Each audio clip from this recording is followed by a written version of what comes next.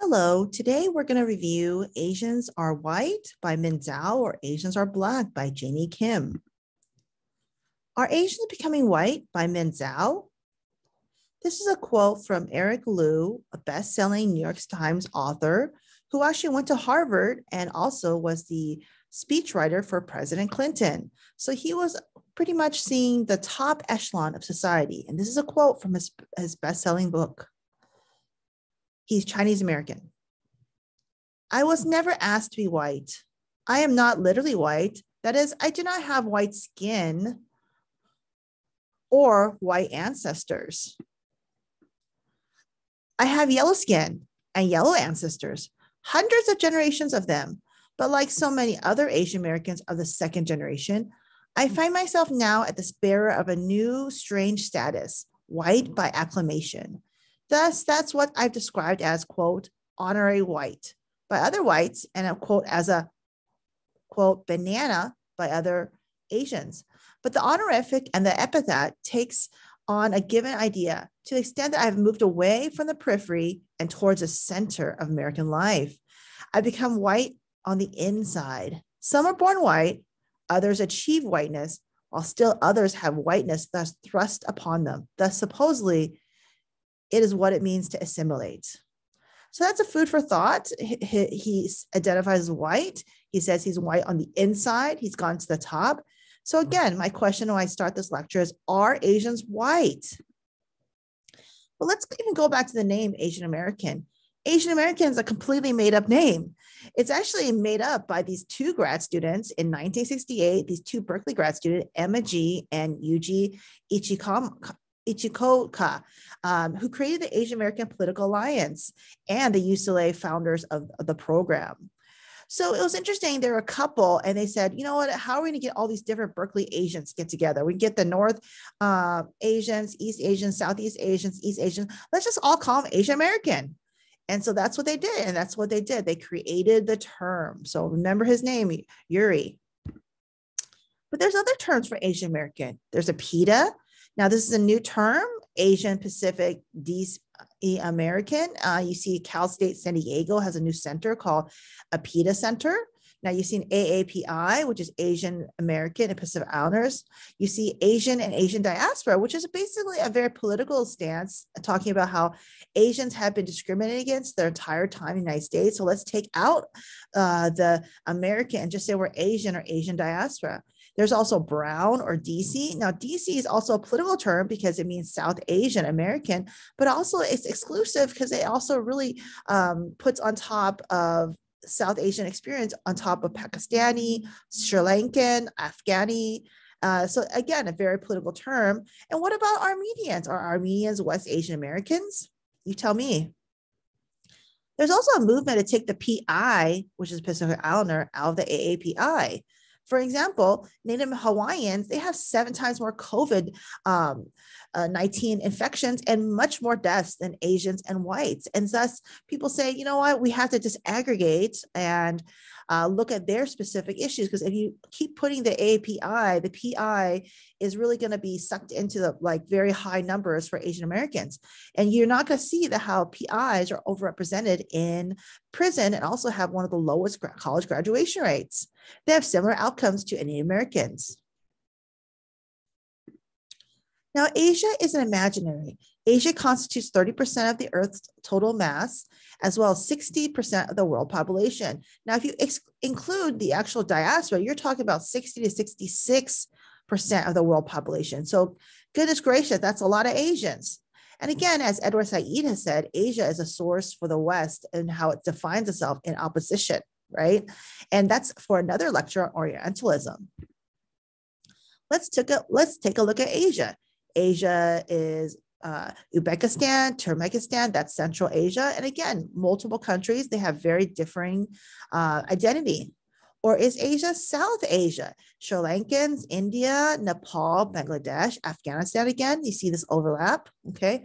Or is Asia Southeast Asia? Now, that's 15% of the Asian American population. Malaysia, Singapore, Laos, uh, Brunei, Indonesia, just to highlight Indonesia and Philippines, a huge gigantuan population, of millions of people. Uh, I think it's fourth most populated in the world. And so, again, how can you even say they're one group, right? So, I want you to think about that.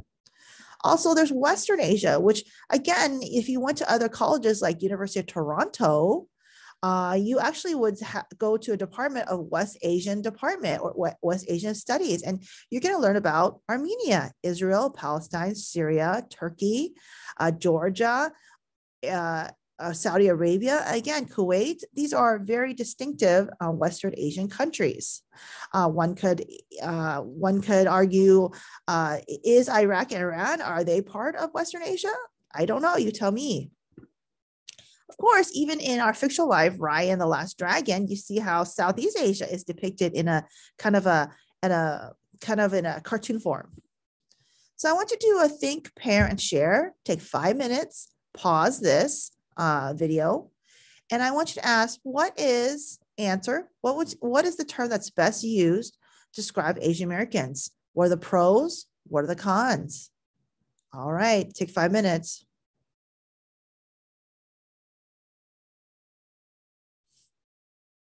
All right, thanks for coming back. What did you think? what is the best term for Asian Americans? Should be kind of like the BIPOC term and use APIDA, which a lot of people are doing, or is that a, a negative term? Is that exclusive, right? Um, again, this is you see. Uh, I think a good place to look is actually books that are being published, uh, centers that are being developed, and also even studies at different colleges. Um, take a look at that and see what you uh, think there's actually a huge variety of Asian Americans. Um, and actually, in the projection, right now we have around 17 Asian Americans, uh, 17 million uh, in 2022. And uh, we have 1.7 million undocumented Asian Americans. So that's almost 20 million Asian Americans. Uh, and by the time we hit uh, 2060, we're going to have 46 million Asian Americans. So that's a huge population. And they're actually the fastest growing because Asian Americans are the youngest. They share with Latinos that their age is young. And so they're going to reproduce even more so. So, again, what is Asian American? What is Asia? Pre contact. Well, if you're interested in anthropology, and this is where I diverge from ethnic studies and Asian American studies, I am an anthropologist. I look at theories and I, I teach this in uh, Anthropology One there's actually like uh, two pre-contact historical kind of uh, theories about humans, all humans, millions of years, millions and millions of humans. And there's two big theories. One theory is called out of Africa, and the other theory is called multi-regional. Basically, it's a theory that two million years ago uh, about the origins of Homo sapiens. We're Homo sapiens. And before us, there are other hominids, and one was called um, Homo erectus. Now, if you're interested in uh, uh, the multi-regional hypothesis, it says Homo erectus, okay, in Africa, one to two million years ago, uh, uh came out and they went into uh, the earth and they spread into equally. Uh, they became African, European, Asian, Austronesian, right? So they kind of like migrated out of Africa and then they, they had the four-way migration, right? And they interbreeded among each other. Now, another group, uh, these are the out of Africa hypothesis group, says that everything came out of Africa and we migrated out of Africa. And then from Africa, that's when we diverged, right? And Homo sapiens, uh, after migrating out of Africa, went became African, European, Asian, Austronesian. So if you're looking for, you know, what is the most evidence, um, pretty much the most evidence I would argue would be probably out of Africa theory, not the multi-regional. But having said that, there are people who believe, such as like really renowned people from University of Michigan. So again, I invite you to do your own research make your own decision. Are we all out of Africa? Or are we, did we do a four-way split, multi-regional um, development for Homo sapiens, uh, Homo erectus into Homo sapiens? Now the term white um, is also a term. It's it's not biological. There's no such thing as white. There's no such thing as Asian. There's no such thing as black. These are, if you want to think of of humans in these like tight, beautiful uh, boxes of different race groups, um, you're gonna be very shocked because guess what? We all mixed. And if I took a swab, like a little cotton swab, everyone's cheeks right now, uh, to, and I, I studied and took your mitochondrial DNA, guess what? I can take you all back to Africa. So what does that mean? um, by a lot a race is not real Uh, uh, the whiteness category is not real, but do you get discriminated against? Uh, socially real? Yes. Do you get murdered by the police and uh, stopped by, you know, various and treated in, in unfairly because of perceived uh, different biological uh, racial groups? Yes, you do. Um, that is real. But is it biologically real? No. But again, we must uh, we must uh, acknowledge that you know there are real consequences of people viewing you as a different race. Now, I really want you to know that the two very important people um, who sued for whiteness, quote unquote, and citizenship. The first one is Wong Kim Ark. He was he was a lowly, quote unquote, uh, lowly uh, restaurant worker, and he was born in 1904. Uh, he was he was born in the U.S. and he sued for citizenship. And what happened was he left uh, San Francisco, born in San Francisco, and he left to go to China to look around. And he came back to US. And when he came back, they're like, no, no, no, you're not, you're Chinese. You can't come back in. He's like, no, no, I was born in San Francisco. And then he sued. And guess what? Uh, a, a, lot of people don't acknowledge this lowly, um, quote unquote, restaurant worker, uh, but he won and it really transformed America, right? Birthright citizenship, right? He's the one, this Chinese restaurant person. So really wonderful. Please memorize his name, uh, Wong Kim Ark. Know his story because actually he's had a huge impactful uh, impact. And again, this Asian American ethnic studies class is banned in several places like Texas, Arizona, probably going to be in also Nebraska and Oklahoma. So again, they don't want you to know this. So know that uh, these P- Asian Americans have always had impact and they've always fought back from the beginning. Also, Bang Bhagat Singh Thind, he is Caucasoid. He's South Asian American, a uh, South Asian. And he said he's Caucasian, which is genetically true. If we're going back to the out Africa and the groups, uh, he he said I'm white, I'm Caucasian because uh, geogra- geographically and also genetically I'm Caucasoid. Uh, and he's true. He actually sued and lost. Uh, the Supreme Court said that he's not what people think of as a quote uh, white person. And so even though genetically and also historically and uh, origin, human origin, he is Caucasoid. He did lose. But again, I always want you to know Asians have always fought back. Now, Takao Ozawa filed for uh, United States citizenship under the Naturalization Act of 1906, which allowed, quote, only free white persons and free peoples of African nativity or persons of African descent to naturalize. Ozawa was Japanese American who was born in Japan but lived in the United States for 20 years. Did, did not challenge the constitutionality of the racial restrictions. Instead, he claimed that J- Japanese people were properly uh, classified as free white people. Of course, there's an anthropological argument that some Ainu have Caucasoid in them, uh, but again, he you know he argued that he has uh, his skin is just as white as white people. He his economics is just as much, etc. He did uh, fight for that, but he did not win. But again, I want you to know that throughout history, Asian Americans have always fought back for whatever position they've been in. Armenians, well, well, of course, Armenians are uh, in the Western Asia on the map. That's undisputed. Uh, also uh, please do your own research and look at how armenians have, were treated in such places like fresno they're qu- definitely racialized they're called like um, something like fresno indians and all these things. And so again like huge history of discrimination towards them but you see that different armenians in different parts of the united states identify differently racially. So you see again not clean tight boxes. Some are more middle eastern um, places like Glendale. Uh, some more overlap with Asian Americans. Uh, some overlap is even with whiteness. So again, please uh, do your own research on that, on what is Armenian. And there is are people who are actually uh, fighting for West Asian American studies as an ethnic studies to include the racism that's been towards Armenians. And again, that would only uh, happen if they declare themselves as non-whites. And so that there's a great uh, article on this, this uh, Diaspora magazine and um, there is uh, there's pluses and minuses quote unquote for the mi- model minority uh, by identifying with a certain group particularly whiteness. Now there's underneath the model minority myth is the white right? I do want you to know the historical uh, born evidence of what happened. This guy william uh, peterson he wrote he's sociologist he wrote this article and he said that oh japanese americans they're totally discriminated against and hey they're the model minority again, this had uh, repercussions because then you kind of like don't see Asian American pain, don't see Asian American murder, such as we've had 10,000 incidents in the last couple of years. You're looking at 2019 to con- continue on into 2022, multiple murders of elderly and Asian women.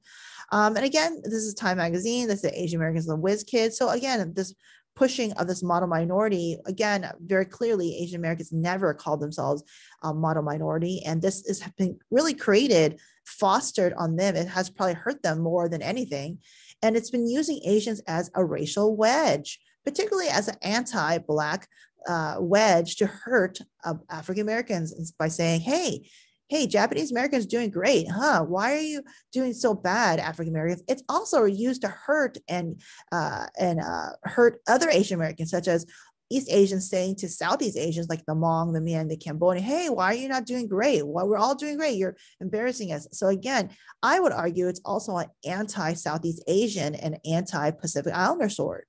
So again, uh, terrible sentiment, model minority is pretty much similar to yellow peril.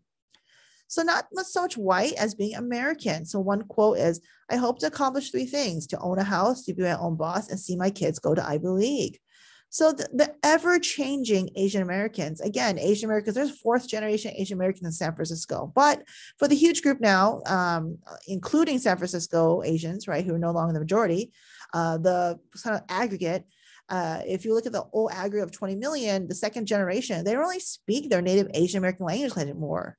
Uh, this is versus 25% of Mexican Americans who still can, uh, oh, who can't speak. Okay. Jennifer Lee talks about how 25% of APIs are actually marrying uh, interracially. And out of the interracial, 87% of those marriages are with Anglo Americans. So these children, are these children Asian? And also 12% of these Asian Americans are identified as mixed race. So what does that mean? So again, I want to argue that um, this honorary white uh, or forever uh, or forever foreigner uh, is a trope. Uh, look at Mia Tuan's uh, the Asian ethnic experience today.